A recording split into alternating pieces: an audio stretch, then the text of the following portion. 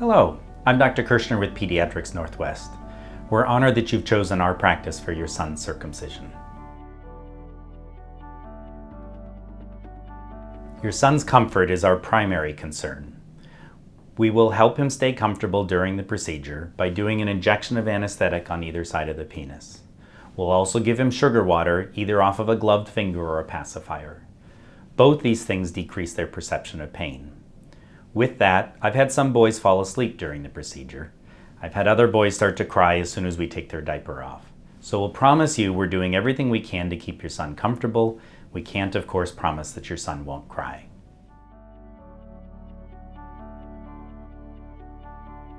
You can choose whether or not you want to watch the procedure.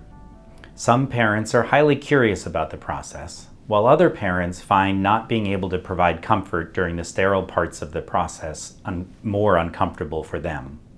Know that you are not required to be in the room with us. We have nursing staff there who can help comfort your son during the procedure, and you can always be the one to comfort him afterwards.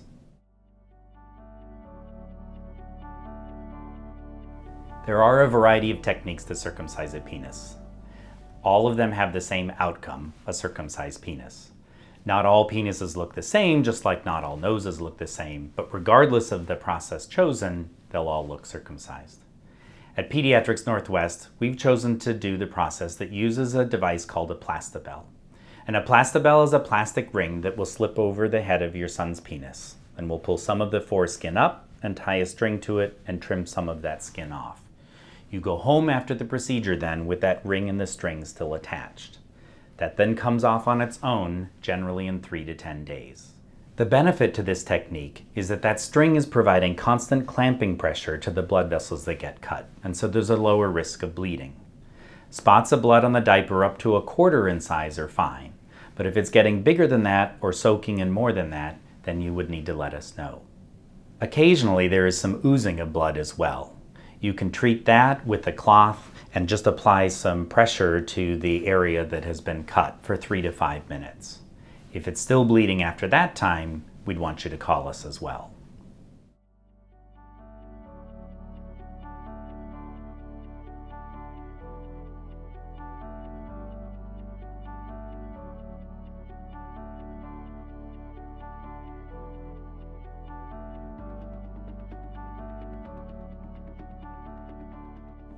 With this procedure, we'll expose new skin at the tip of the penis, and that skin is sticky. And if it sticks to the diaper, then the next diaper change is going to be uncomfortable.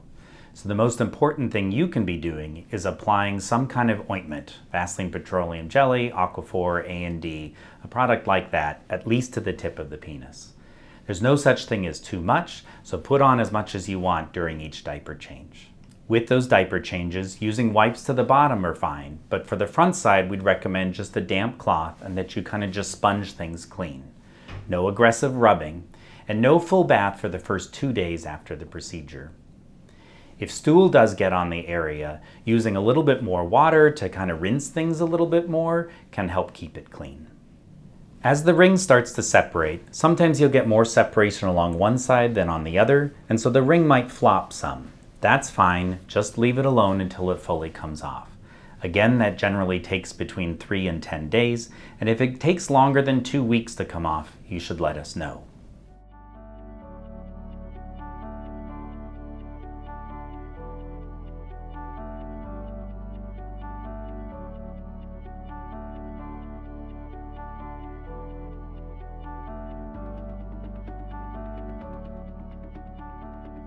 Typically, boys don't have too much pain after the procedure. The medicine we've used to anesthetize things will last for an hour or two. After that, discomfort can initially be treated with wrapping and feeding and soothing. If that's still not enough, we'll go over dosing of Tylenol in the office. After the procedure, the ring should sit so that the tip of the penis is just barely visible. A known but very rare occurrence with this procedure is that the ring can slide further down on the head or even onto the shaft of the penis. And if that occurs, then it can become like a string or rubber band too tight around your finger and compromise the blood flow. If you see that happen, you need to call us and let us know. It doesn't mean you have to dial 911 and rush into the emergency department right away. But it's also not a, their office is closed, I don't want to bother anybody, let me wait and see what happens. Any time of day or night, you should contact our office. The same phone number will get you in touch with somebody who's on call, even if the office is closed. There are a few cases where the skin that remains after the circumcision can slide back over the head or reattach to the head of the penis. This can be prevented by applying gentle backwards pressure during diaper changes. Your provider will show you if your son is at higher risk of this happening.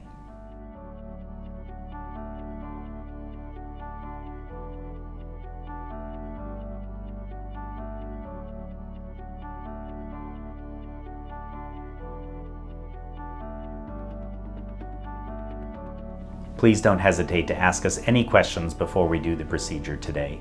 And know that we will be with you every step of the way as your son heals.